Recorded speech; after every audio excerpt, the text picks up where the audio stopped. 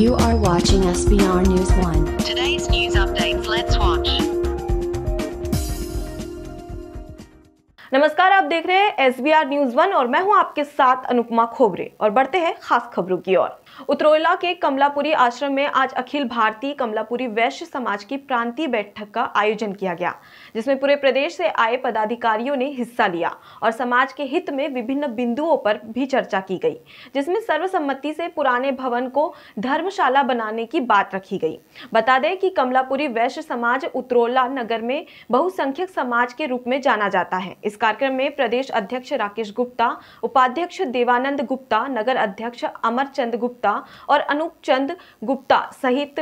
सैकड़ों कमलापुरी स्वजातीय बंधु मौजूद रहे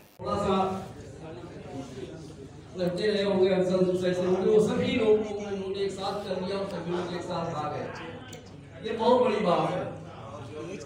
तो अब इसमें बदले में धर्मशाला के में कोई भी अड़चन नहीं आएगी और जितने लोग हैं यहाँ बैठे मैं मासूम पत्नी की बात कर रहा हूँ ध्यान रखिएगा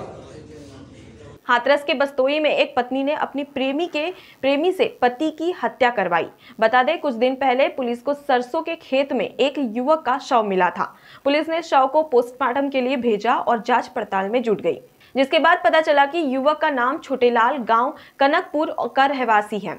जानकारी के अनुसार युवक वहीं एक खेत में रखवाली करता था आज पुलिस अधीक्षक ने युवक की हत्या का खुलासा करते हुए बताया कि मृतक की पत्नी सुधा के हत्या आरोपी अरविंद से अवैध संबंध है मृतक को जब पत्नी के अवैध संबंधों के बारे में पता चला तो पत्नी ने अपने प्रेमी अरविंद से अपने पति को रास्ते से हटाने के लिए कहा तब हत्यारे ने अपने साथी के साथ मिलकर मृतक की गमछे से गला घोटकर हत्या कर दी बहरहाल पुलिस ने मृतक की पत्नी सुधा उसके प्रेमी अरविंद और हत्या में साथ देने वाले आरोपी दलवीर को गिरफ्तार कर जेल भेज दिया है सर आज आपके द्वारा चौकीदार की हत्या का खुलासा किया गया है क्या है सर पूरा मामला देखिए तीन जनवरी को थाना हसायन क्षेत्र में खेत में एक व्यक्ति की डेड बॉडी मिली थी जिसका पोस्टमार्टम कराया गया था पुलिस द्वारा और हत्या की वजह गला दबाकर हत्या करना प्रकाश में आया था इसके संबंध में जो मृतक है उनके परिजनों द्वारा थाना हसायन पर शक के आधार पर एक नामजद तहरीर दी गई थी जिसमें हत्या का मुकदमा पुलिस द्वारा पंजीकृत किया गया था इस घटना के अनावरण हेतु इसमें सर्वलांस टीम फॉरेंसिक टीम आदि के साथ एसओ जो थानाध्यक्ष हैं हसायन के इनके द्वारा जो है काफ़ी अथक प्रयास किए गए और इसी घटना का इनके द्वारा अनावरण किया गया है और इस हत्या की घटना में शामिल कुल तीन अभियुक्तों को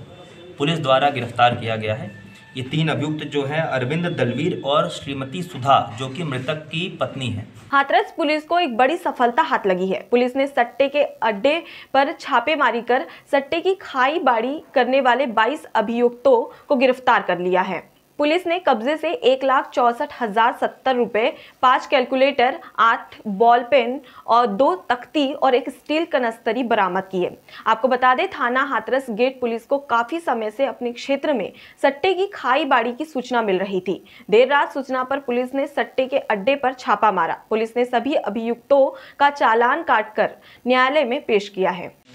सर हाथरस गेट पुलिस ने कुछ सटोरियों को गिरफ्तार किया है सर कुल कितने सटोरियों और कितनी रकम बरामद हुई उनसे देखिए जनपद हाथरस के थाना हाथरस गेट पुलिस द्वारा सराहनीय कार्य करते हुए देर रात छापेमारी कर एक सट्टे के अड्डे से कई लोगों को गिरफ्तार किया है इसमें कुल 22 लोग पुलिस द्वारा गिरफ्तार किए गए हैं जो सट्टे की खाईबाड़ी कर रहे थे और इस गिरफ्तारी के बाद कुल एक लाख चौंसठ हज़ार रुपये तकरीबन वहाँ सट्टे की खाईबाड़ी से पुलिस ने बरामद किए हैं और इन सभी अभियुक्तों के विरुद्ध सुसंगत धाराओं में अभियोग पंजीकृत करके थाना हाथरस गेट पुलिस द्वारा आवश्यक वैधानिक कार्रवाई की जा रही है सर पकड़ने वाली टीम को कुछ नाम बिल्कुल उनकी सराहना की जाएगी और प्रशस्ति पत्र से सबको सम्मानित किया जाएगा गोंडा में एक दिल दहला देने वाला मंजर सामने आया है जहां गोंडा में आज दो महिलाओं के साथ दर्दनाक घटना को अंजाम दिया गया एक तरफ पहला मामला खरगोपुरा थाना क्षेत्र का है जहां पीड़िता के मुताबिक उसके पति ने रिश्तेदार के साथ मिलकर उसके साथ दुष्कर्म करने का प्रयास किया विरोध करने पर पत्नी को मारा पीटा और लोहे की गर्म रॉड से पत्नी के शरीर को कई जगह दाग दिया हैवानियत के से गंभीर रूप से घायल हुई पत्नी ने इलाज के लिए जिला अस्पताल में भर्ती कराया गया पुलिस ने पीड़िता की शिकायत पर आरोपी पति और रिश्तेदार के खिलाफ दुष्कर्म मारपीट और जानलेवा हमला करने को लेकर दोनों आरोपियों को गिरफ्तार किया है तो वहीं दूसरा मामला गोंडा शहर के झाझरी ब्लॉक के पास का है जहां घर के अंदर ही एक महिला की दिन दहाड़े गला रेत कर हत्या कर दी गई उसके बाद हत्यारे ने महिला का सिर धड़ काट दिया सूचना पाकर मौके पर पहुंची पुलिस ने प्राथमिक जांच और शक के आधार पर घर के सदस्यों को हिरासत में लिया है मौके पर पहुंचकर एसपी गोंडा और एडिशनल एसपी ने वारदात वाली जगह का निरीक्षण किया पुलिस ने शव को पोस्टमार्टम के लिए भेज दिया है बहरहाल आज शहर में हुई दो बड़ी घटनाओं ने पुलिस की कार्यशैली पर सवाल खड़े कर दिए हैं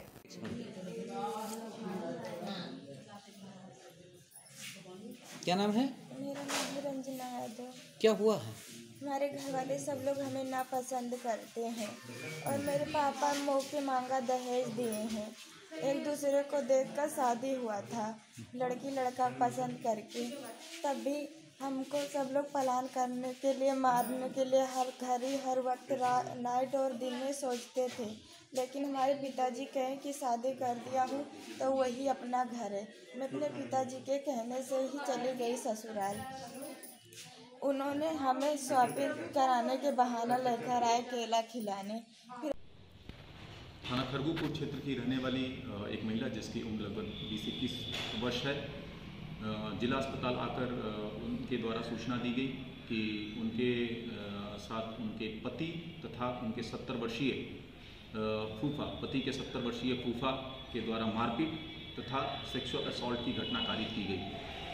सूचना प्राप्त होते हुए तत्काल पुलिस द्वारा त्वरित कार्रवाई करते हुए जो आरोपी हैं उनको पूछताछ के लिए हिरासत में ले लिया गया है उनसे पूछताछ जारी है